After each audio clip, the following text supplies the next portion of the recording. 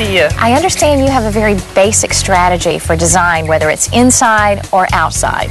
Yes, I've taken my philosophy and I've created five basic personalized principles. And what are they? And the first one, which, okay, get ready for this one, I call it a clutter free zone. Clean up the clutter. Get rid of it, donate it, throw it away.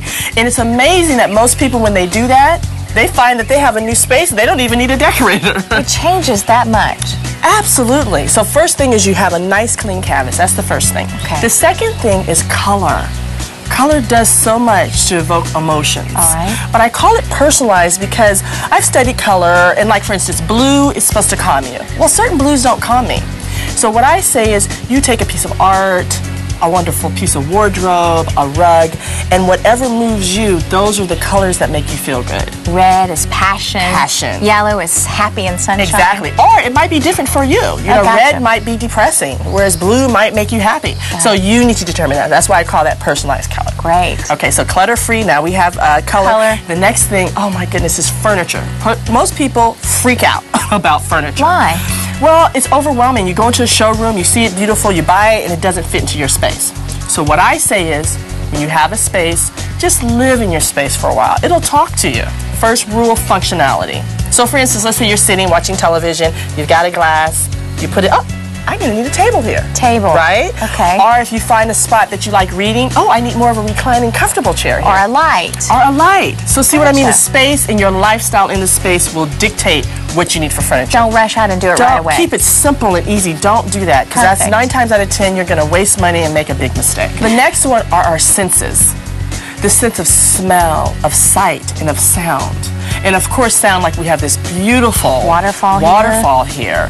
And then you have smell, fresh cut flowers, Oh, yeah. our Herbs. our herbs, thank you very much, or even scented candles. I love scented candles. But once again, something that just makes you feel good. It is very personalized. So whatever smell makes you feel good, you introduce that into the space. And you do that through accessories. Okay, Okay. And then the last one, I love this one. The last one is called luxury consciousness. That sounds expensive. And it's not. I know most people are like, no, no, you guys, it's not. Luxury consciousness, the way I define it in these principles, is everything that you love. Everything Oh. that evokes whatever, whether it's a your grandma's Afghan or whatever, anything that when you look around, I love it. It evokes this wonderful, beautiful, warm feeling inside of me. Great ideas, Phyllis. And all of those principles, what it equals is I feel good. It's a space to rejuvenate and just relax and feel good about yourself. Find more at fineliving.com. Real information for real people. I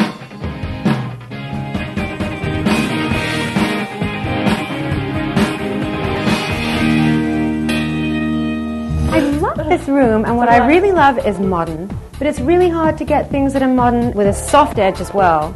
That was done that really well. That was my biggest challenge. to pull the design off. Phyllis makes contemporary pieces with uniquely designed furniture.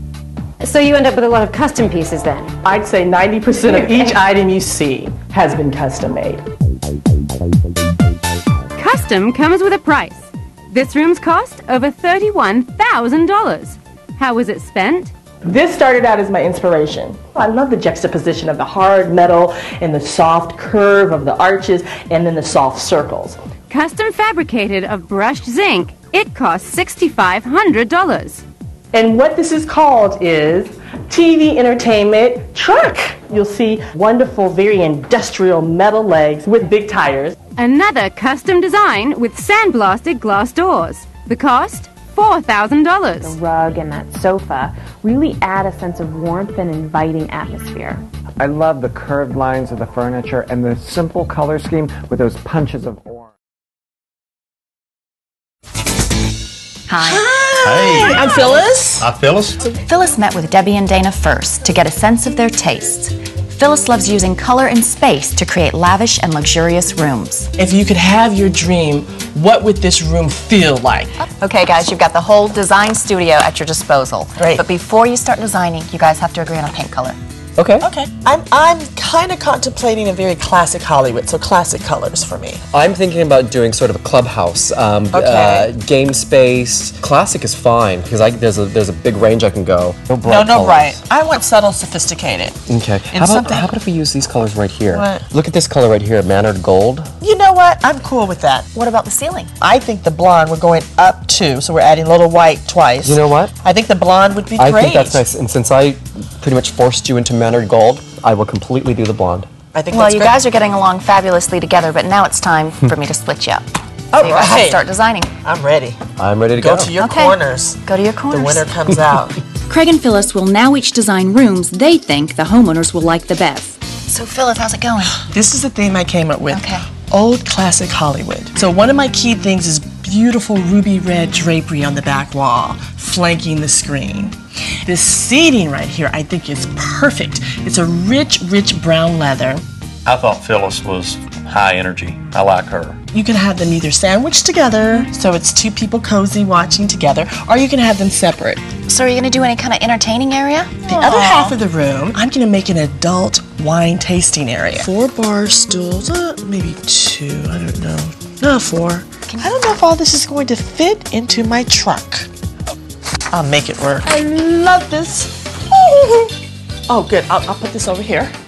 Oh, I can't wait. I can't wait. Look in their eyes. Okay, Look I in can't eyes. tell. How can you tell? I can't tell. You were both Okay. great. You both did a great job, Craig. We loved your room. It's fabulous. But we're going with Phyllis because she made me cry.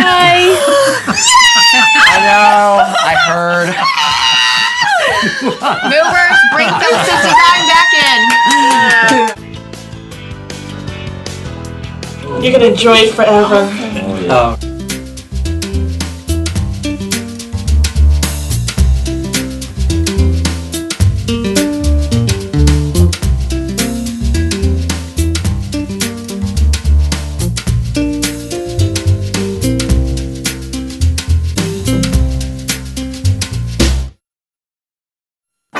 We're living with soul here on TV One. Finally, a style show that's all about you. It's celebrating African American art, culture, and design. Designer Phyllis Bowie takes decorating to a whole new level. This show shows you how to spin smart and live lavishly.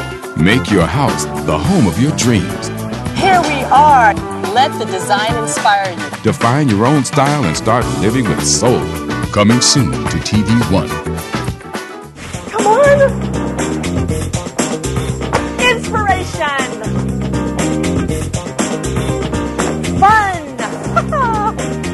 Ideas. I feel at home in a space like this. I love going through the fabric. I love measuring my window, taking it to a drapery maker. I realize some of you might not feel that comfortable. But do not be intimidated of coming into a space like this. Consult with the salespeople. Tell them you're on a budget. To create the look George had, we looked for a drapery fabric with rich color and casual elegance.